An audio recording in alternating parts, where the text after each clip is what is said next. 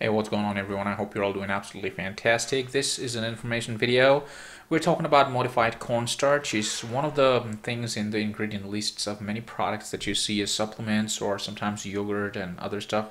But we really don't know sometimes uh, what it exactly is. A lot of us do know. Um, in case you don't know, you can watch this video till the end and we're going to talk a bit about what it is, side effects, or how it's made. Keep watching.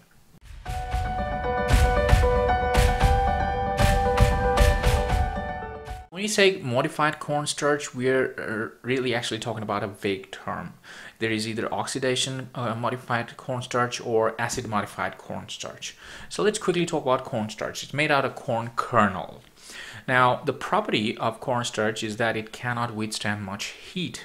So it's either put through oxidation or acid modification to change the property, not just the heat withstand property, but a few other properties as per necessity uh, to get modified cornstarch. So uh, when, it, uh, when the oxidation mechanism is used, then the cornstarch is modified using oxidizing agents like uh, potassium permanganate, hydrogen peroxide, chlorine, etc. And when the acid modification is used, then cornstarch is actually added to water then it's heated up and then mild acid is added to it to get the modification and when it reaches the modified state then the acidification is neutralized with something that can neutralize it and sometimes it's uh, most of the cases that is uh, sodium carbonate.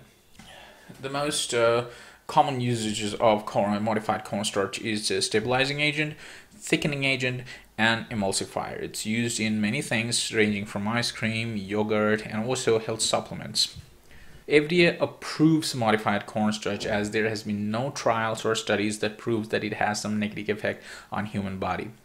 One important thing to note is that the calorie uh, that is produced from cornstarch and the modified cornstarch, no matter which mechanism is used, is almost similar. There was a study done on mice uh, where healthy mice was used, like five or six of those were used, and they were fed cornstarch and modified cornstarch about um, one gram each day for 21 days. And in the modified cornstarch, there was this oxidized uh, mechanism and acid uh, modification mechanism.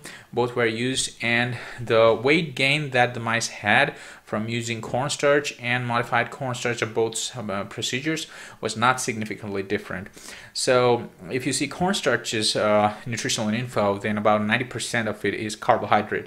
So 100 gram of uh, cornstarch has about 91 grams of corn, uh, 91 grams of carbohydrate. The same applies to modified cornstarch. So that, that's the calorific info if you're ingesting modified cornstarch in a huge quantity.